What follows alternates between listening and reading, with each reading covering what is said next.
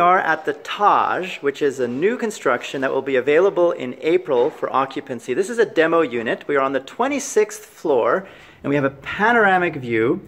This is over 3,000 square foot, three bedroom, and we're gonna go have a tour to see what this place looks like. This is the living room and the kitchen is uh, somewhere we're gonna see in a minute. First, we're gonna walk through to get to the bedroom, which we will see just ahead. This is bedroom one, and it has its own balcony. The whole building has a glass facade, which means there is glass all the way up. This is the stand-up shower. That's in this bedroom. This is not the master bedroom. This is just one of the three normal bedrooms. Now we will go to the study, which isn't a bedroom. It's not counted as one of the three bedrooms. It's just a separate room that can be used for making videos, just relaxing.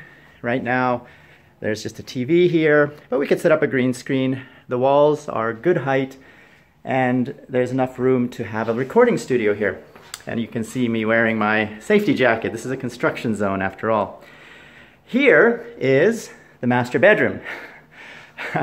I laugh because it looks like a living room in most apartments. And that's because this is a very large three bedroom. It's the largest and most expensive in this unit. Now these are residences for sale, not for rent.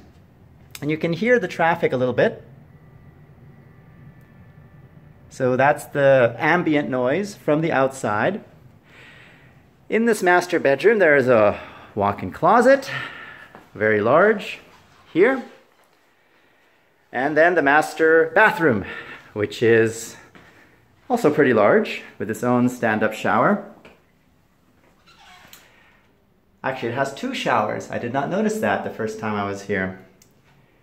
The flooring is all marble, not just regular tile. The wood is a higher quality wood. This is a higher class construction than most apartments, so we're told. And this is the third bedroom. Also very large and bright with its own bathroom and its own stand-up shower.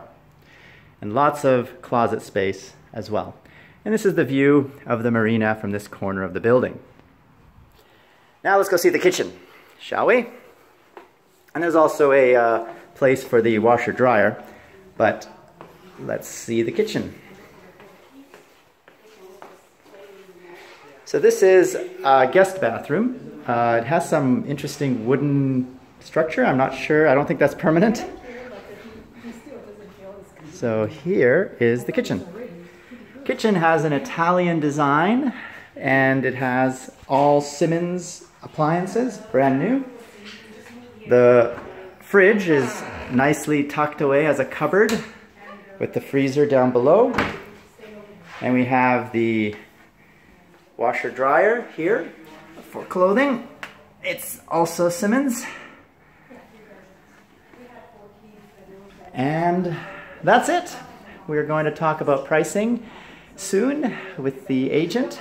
And this is the first time we've been here. This is January 7th, I believe, or 8th. I'm not sure.